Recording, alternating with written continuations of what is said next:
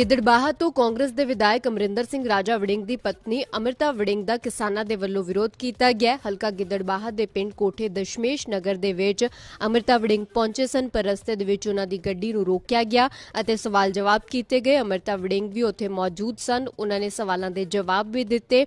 ਪਰ ਇਸ ਤੋਂ ਬਾਅਦ ਵਿਧਾਇਕ ਰਾਜਾ ਵੜਿੰਗ ਨੇ ਸਵਾਲ ਖੜੇ ਕੀਤੇ ਨੇ। ਉਹਨਾਂ ਨੇ ਕਿਸਾਨ ਜਥੇਬੰਦੀਆਂ ਨੂੰ ਅਪੀਲ ਕੀਤੀ ਹੈ ਕਿ ਇਸ ਤਰ੍ਹਾਂ ਦੇ ਨਾਲ ਮਹਿਲਾਵਾਂ ਤੋਂ ਸਵਾਲ ਜਵਾਬ ਨਾ ਕੀਤੇ ਜਾਣ, ਸਗੋਂ ਸਿੱਧੇ ਵਿਧਾਇਕਾਂ ਅਤੇ ਲੀਡਰਾਂ ਤੋਂ ਸਵਾਲ ਪੁੱਛੇ ਜਾਣ।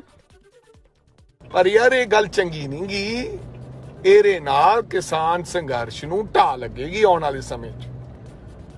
ਔਰ ਮੈਂ ਕਿਸਾਨ ਜਥੇਬੰਦੀਆਂ ਦੇ ਆਗੂ ਸਹਿਬਾਨਾਂ ਨੂੰ ਬੇਨਤੀ ਕਰਨੀ ਚਾਹੁੰਦਾ ਹਾਂ। ਬੜੇ ਸਤਿਕਾਰਯੋਗ ਨੇ।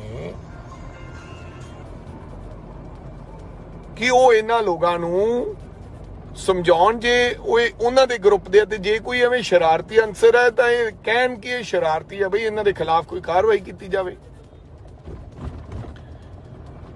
ਸੋ ਦੁਬਾਰਾ ਫੇਰ ਮੈਨੂੰ ਲੱਗਦਾ ਕਿ